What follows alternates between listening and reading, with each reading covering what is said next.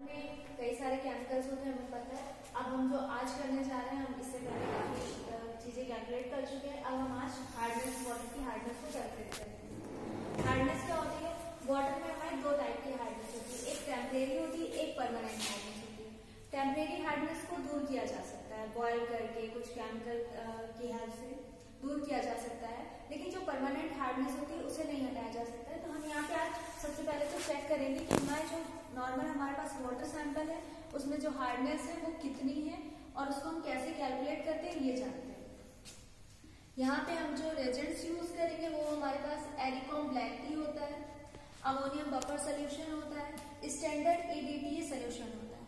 अब क्या होता है कि जो एरिकॉम ब्लैक टी है, वो हमारा एक इंडिकेटर होता है जो हमें इंडिकेट करता है कलर चेंज करके इंडिकेट करता है कि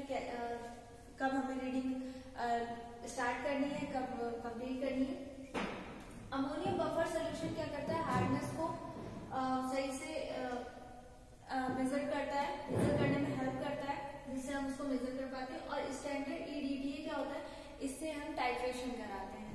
ये हमारा स्टैंडर्ड होता है ईडीटीए बनाते हैं। इससे हम टाइट्रेशन करा के चेक करते हैं कि हार्डनेस कितनी है। अब हम आगे चल के परफॉर्म करेंगे।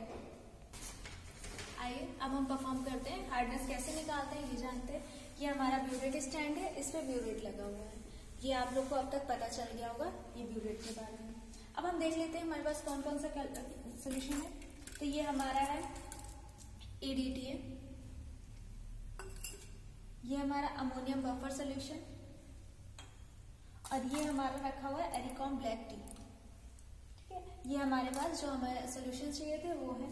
अब हम सैंपल हम क्या करेंगे? ये हमारी कोनिकल फ्लास्क होती है और ये मेजरिंग सिलेंडर होता है। हम हम जानते हैं कि कोई भी प्रैक्टिकल करने से पहले, कुछ भी करने से पहले हम इसको अच्छे से डिस्टिल वाटर से वॉश कर लेते हैं। ये हमारा डिस्टिल वाटर है।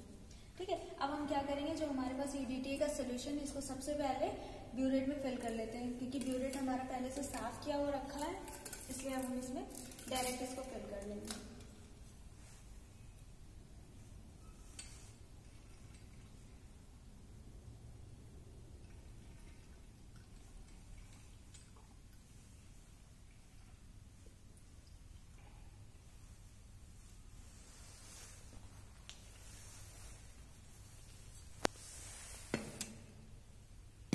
जो भी एक्स्ट्रा है, उसको हम निकाल देंगे।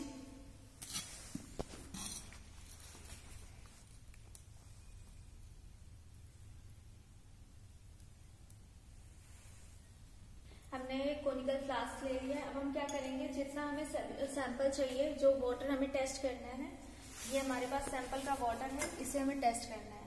तो जितना हमें चाहिए, हम सैंपल ले लेंगे। तो हम सैंपल कितना भी ले सकते हैं 25 एम एल पचास एम एल सौ एम एल लेकिन हम यहाँ पे फिफ्टी एम ही लेंगे।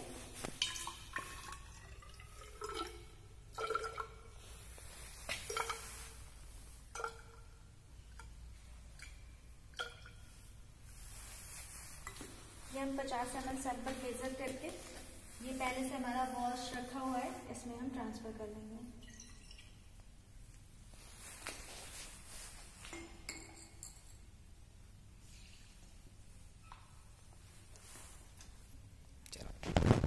ये हमारे पास पिपेट होती है अब हम इसमें क्या करेंगे इसमें इंडिकेटर डालेंगे और अपना बफर सोल्यूशन मेजर करेंगे। तो जो बफर सोल्यूशन हमें डालना है, वो हम मेजर करके डालेंगे। तो इस पिपेट की हेल्प से हम बफर सोल्यूशन को मेजर कर लेंगे। देखिए, इसमें मेजरिंग नंबर दिए हुए हैं। है ना? ये एक एक सेंटीमीटर की डिस्टेंस पे है तो हम इससे मेजर करके इसमें डालेंगे। एमएल पे सॉरी तो हम इसमें जो 50 एम हमने सैंपल लिया, इसमें हम एक एम मेजर करेंगे बफर सोल्यूशन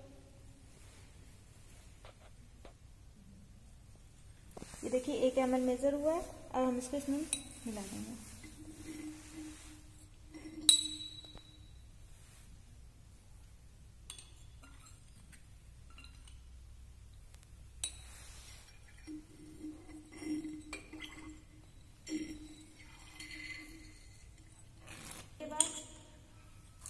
ये जो हमारा इंडिकेटर है एलिकॉम ब्लैक टी इसको हम इसमें दो से चार बूंद डालेंगे।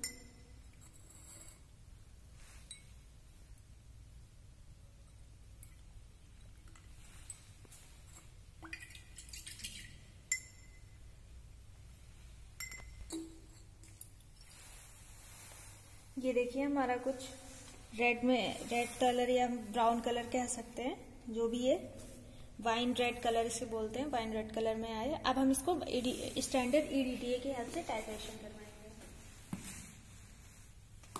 टाइट्रेशन कराते हैं। अभी हमने जो इसमें पे किया है, वो यहाँ पे इनिशियल रीडिंग हमें ज़ीरो दिखा रहा है। तो हमारी जो इनिशियल रीडिंग होगी, वो ज़ीरो होगी। अब हम इसको टाइट्रेट कराएँगे और देखेंगे कि हमारी कितनी रीडिंग आती है फाइनल तो हम स्टार्ट करते हैं। आराम से टाइट्रेशन कराएँगे, ताकि जब इसमें कलर चेंज हो तो हमें पता चले। और टाइट्रेशन कराते समय हम इसको शेक करते रहेंगे ये अच्छे से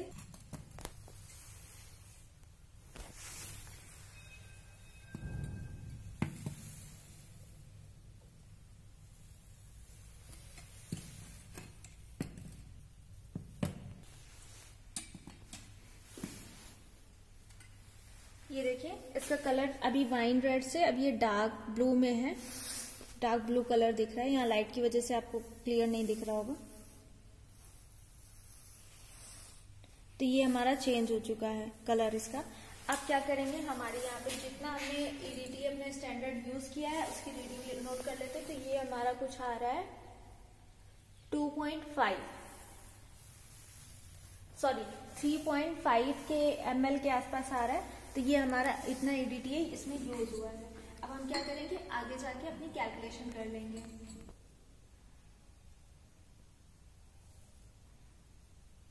हम कैलकुलेट कर लेंगे हमारा जो भी रिज़ल्ट आया है हम कैलकुलेट कर लेंगे कि इसकी जो हमारे पास सैंपल अवेलेबल था उसका उसमें हार्डनेस कितनी है तो उसको कैलकुलेट करने के लिए हम क्या करेंगे हमारे पास फॉर्मूला है